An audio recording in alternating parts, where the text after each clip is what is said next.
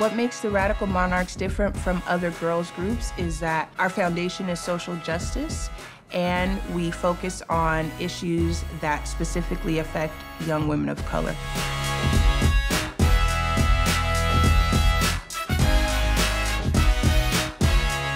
We are here on behalf of the Radical Monarchs in support of Protect Oakland Renters because families, including mine, that grew up here in Oakland will be kicked out because we won't be able to afford to pay rent here in Oakland. There is a group of girls in California. They range in age from 8 to 11 years old. We think they're being exploited. Why does the world need to be more radical? Radical means to me out of the box, edgy, like swimming against the current.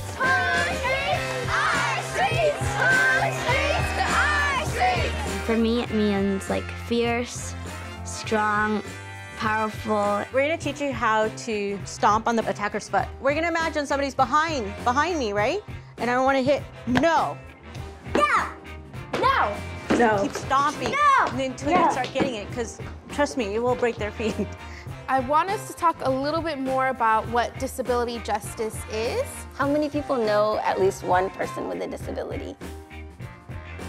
People with disabilities are oftentimes thought of like as the people who can do the littlest out of everybody. Like, oh, what can that person with an intellectual pers- disability do? Or what can that blind guy do? We call it transphobia, and so transphobia is when people make fun of trans people and trans women in particular and trans men um, because they think that they're not being the right gender. So for myself, I've gotten people making fun of me or laughing at me or questioning like, is that a boy, is that a girl, in a mean way. And so I think that all of us, we all have a responsibility. So think about what is your role, right? Because we all have a role.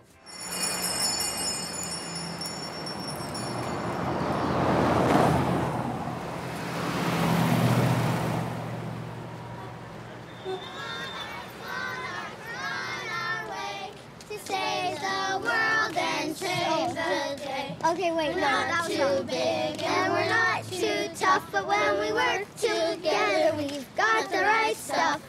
Go Monarchs! Yay! Again! One, two, three, go. So this group really came together with my daughter last year, was in fourth grade, and a lot of her friends in school were joining a local Girl Scouts troop.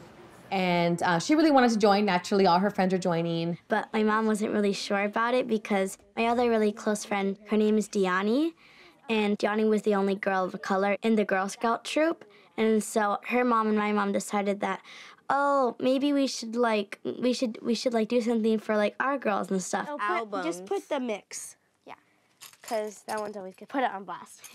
And so when I started to look at what that troop would look like, the one that she wanted to join, I was just like, you know, like I just don't feel like this is going to speak to you and your experience. It's it's like a rosca, it's like a peanut butter, like it's like a And so kind of dream about what would a troop like that look like beyond service learning or volunteering. What does it look like to actually be radical and to actually stand up for something? Where she could build sisterhood with other young girls like her and, and have those connections. Because I made those connections, but I made them much later. And so I thought about what would it look like for an eight year old, a nine year old, 10 year old to make those connections at such a younger age rather than have to wait for college, you know, which is what happened kind of to me.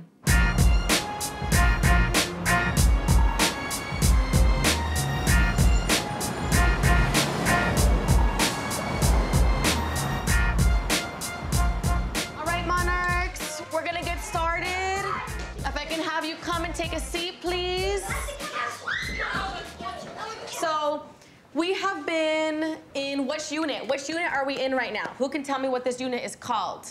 Anyone remember what this unit is called?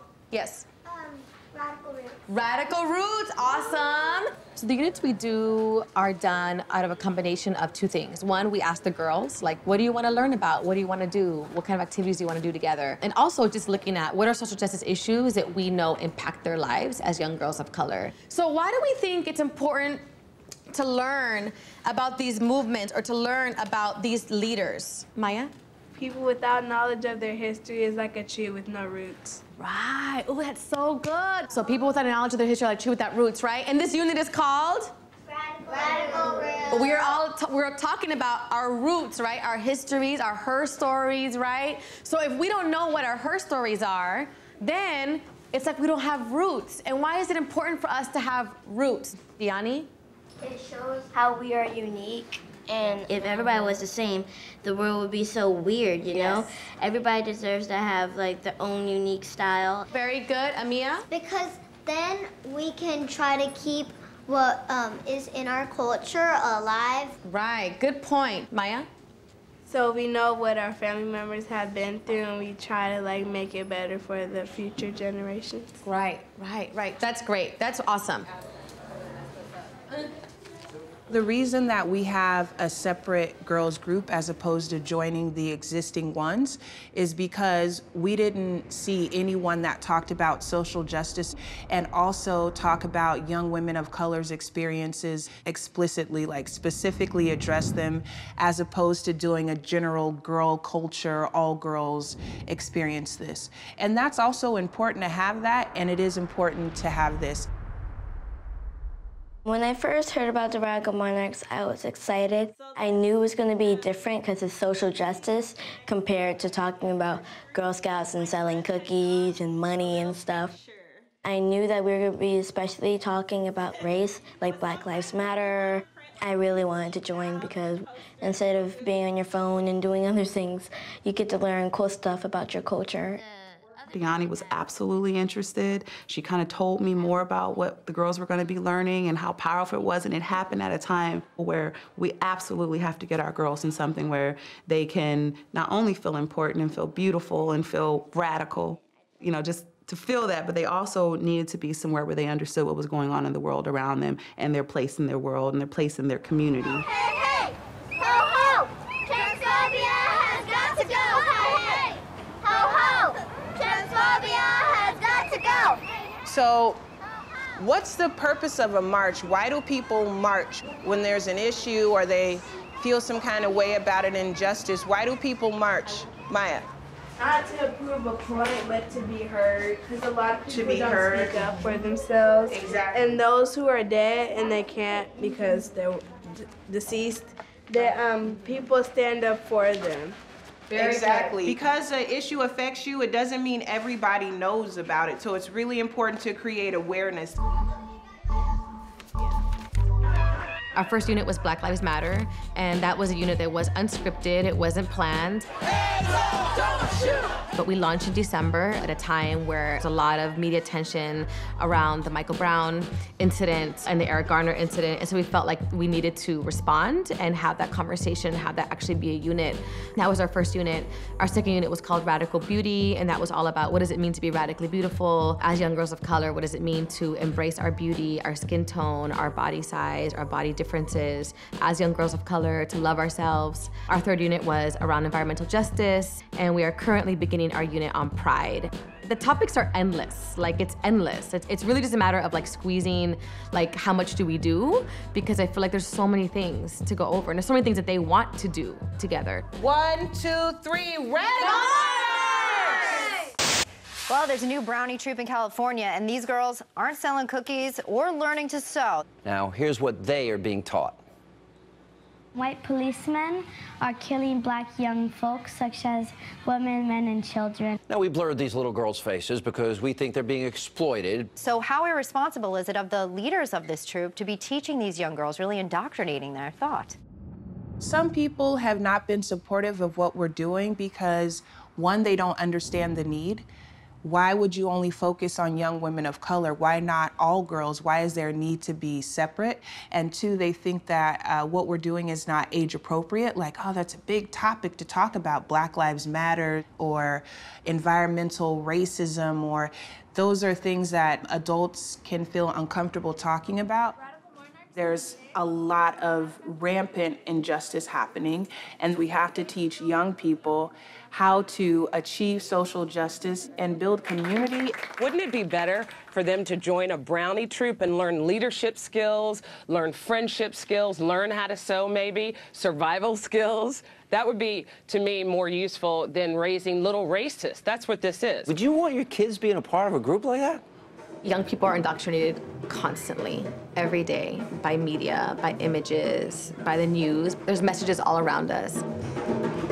I think that this is not about indoctrinating young girls, but this is about opening their lens to see things a different way. Where do we get these ideas that a young man in a hoodie is inherently up to something bad? Where does that come from, right? So I think we're asking the questions to the girls that they don't get in mainstream life. I'm very comfortable telling white folks that they have their own, that they are the standard. They are the standard of, quote, beauty.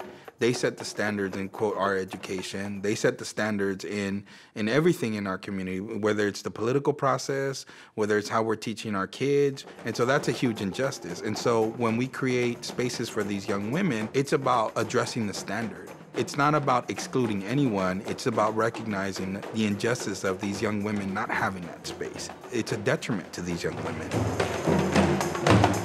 Helping them to develop their own voices is really important to me. I mean, I think that so many of our kids feel invisible.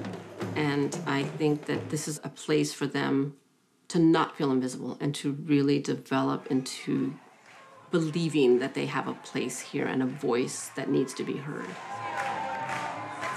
Radical Monarchs gives her a sisterhood. How incredible is it to be with girls who look like you, with some of the same experiences as you, who can really understand um, injustice on a deeper way because they've experienced it or because their family members have experienced it. Because of that, their focus is on making a change in the world. And so I want her to change the world and I want her to do it in a radical way. What I've learned is it's all about justice, like justice for people who are different, justice for people who are in danger because they're different. Just it's all about justice and equal rights. And that's something that I've really been part of and learned a lot about.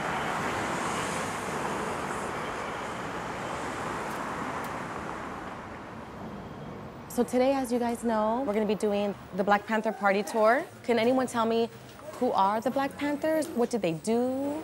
Solina? They're a group um, with Black Berets, and Mhm. they they help kids and they help around the communities in Oakland. Very good, awesome. And so the Black Panther Party really came about in this way of like self-defense for their community because their community was being attacked by the police. Does this still happen today?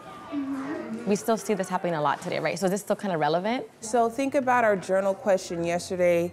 Why is it important to stand up for yourself and others? That's a part of standing up for yourself. For them, that was how they were showing how they were standing up for their community. Everybody stop over here and look in the window.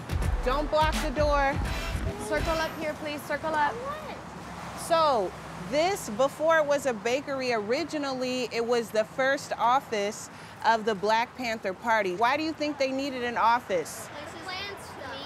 To plan stuff and meet, those are really important things. And to show visibility in the community.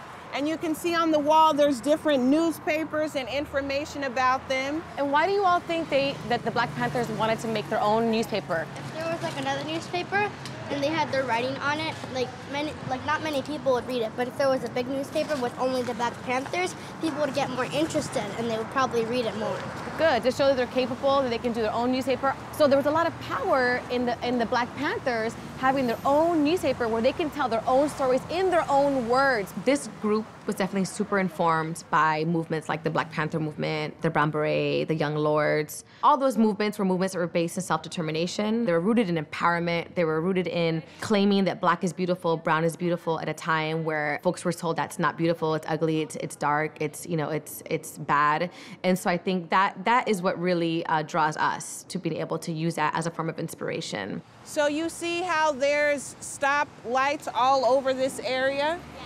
So when the Black Panthers first started, they are very much a community group that wanted to stick up for the community and themselves. And so one way that they did that is to demand that the city of Oakland put in stoplights and also signage so that people stop for children. We wanted them to know about their history, however sordid it is or not, we wanted them to know and not, you know, not be subject to if someone says, oh, the Black Panthers were like evil, they're horrible. We wanted them to be able to critically think about that and it's like, okay, is that the whole story? Who's telling that story? Whose perspective is that story from?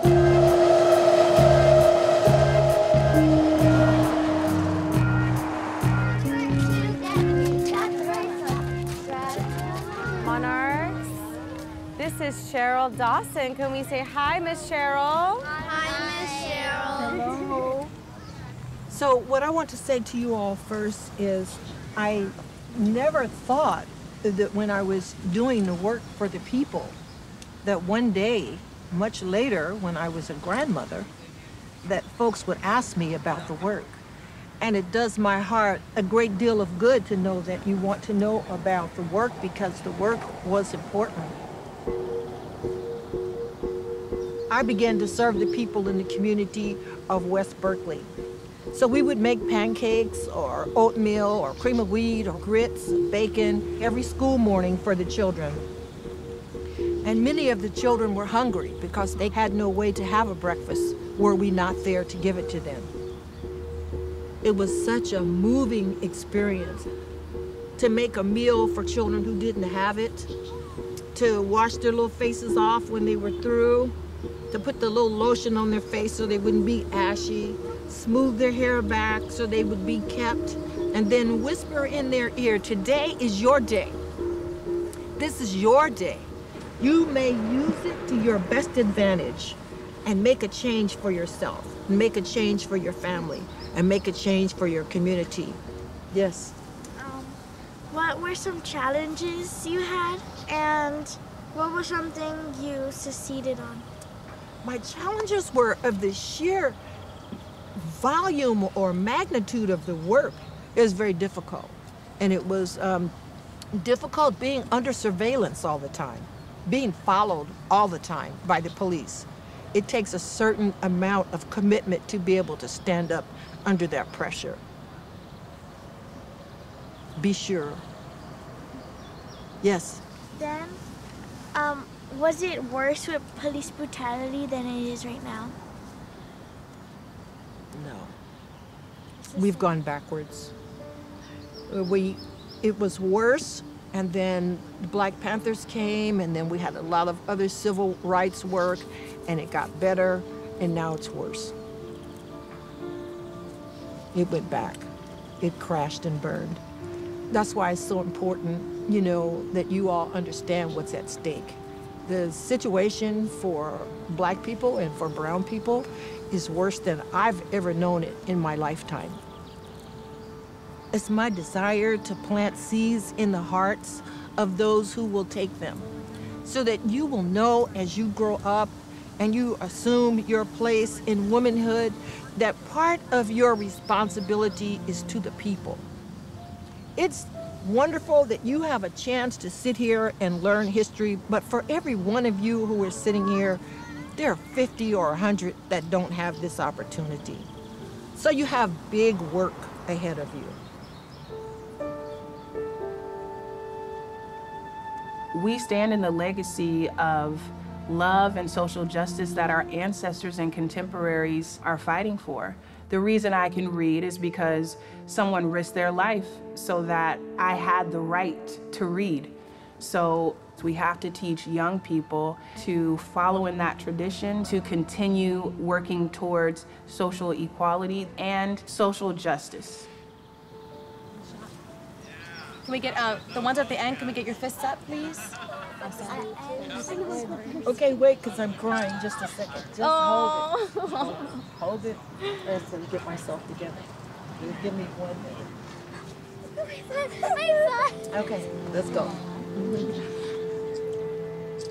The things that we learn in Radical Monarchs are very cool and very important in our lives. I found out that doing activities based on social justice is really cool. And I get to show people who we are and that we're proud of it, and we're basically a mini tiny group of um, social justice leaders. So my dream for the Radical Monarchs would be that there'll be like troops like in a lot of places. Like I want it to like to spread out because the more troops we get, the more power we'll get to make Oakland and actually the world now a better place. Well, I should say a more radical place. Something about social justice that is fun is that we get to work with it. We get to be part of it. We get to kind of make history, or her story, as we like to say it. Instead of just reading about it, we get to be one tiny little part of it. Because A lot of tiny parts can equal one big part, but we need the tiny parts first to make it one big part.